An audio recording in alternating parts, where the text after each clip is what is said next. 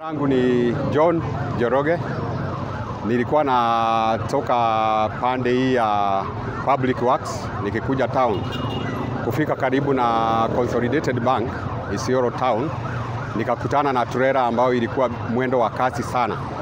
Kukutana na hiyo trailer, nikaona imepitia upande wa kwangu, so katika hiyo hali nika nikasikia roho wa Mungu akinizungumzia kwamba niingie upande wa kushoto ambao kuna mtaro ya drainage ambao inapeleka maji wakati wa mvua, na nikaweza kuingia pale, na shukrani zangu ni mbele za Mungu kwa sababu siwezi kusema ni ujuzi, lakini ni Mungu ameweza kunishidania.